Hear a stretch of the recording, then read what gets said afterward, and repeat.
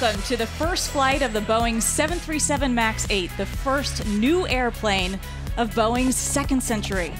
Not the greatest day. It's rainy, it's cold. Look at all the excited faces. We have thousands of employees who are joining us today for this historic first flight.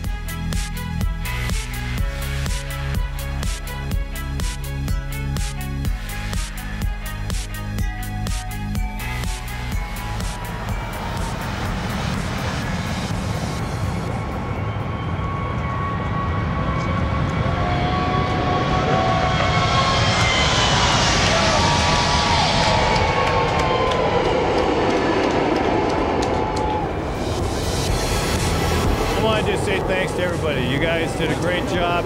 Appreciate all you do every day. It's a real testament to our entire team and, and all the hard work that everybody puts into these kinds of things.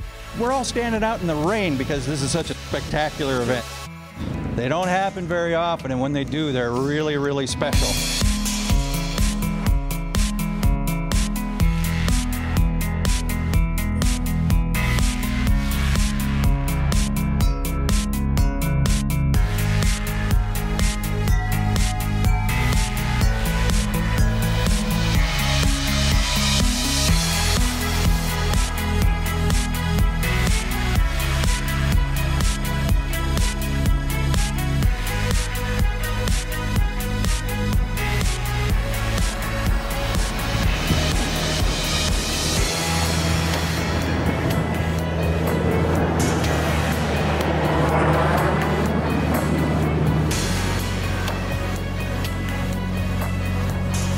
There you saw the 737 MAX 8 airplane complete its first flight.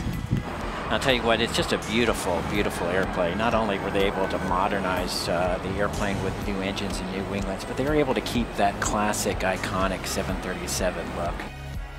And there you can see inside Captain Ed Wilson, his name right there on the plane. Uh, next to him, Captain Craig Bomben.